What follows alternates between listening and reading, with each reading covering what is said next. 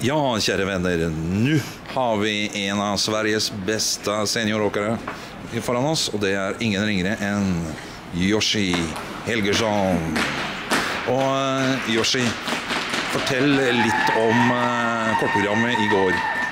Eh, Det gick bra igår. Jag hade en stor miss på min trippelots. Det blev bara en enkel. Men resten av programmet kändes jättebra.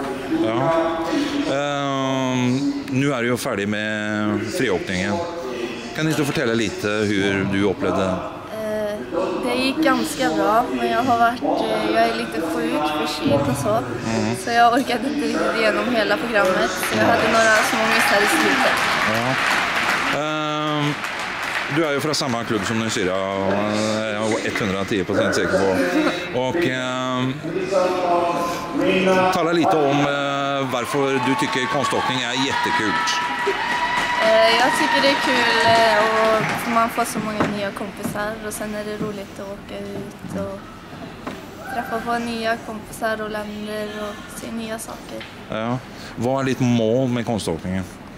Eh, det, jag vill åka jättebra på en stor tävling, typ EM eller VM.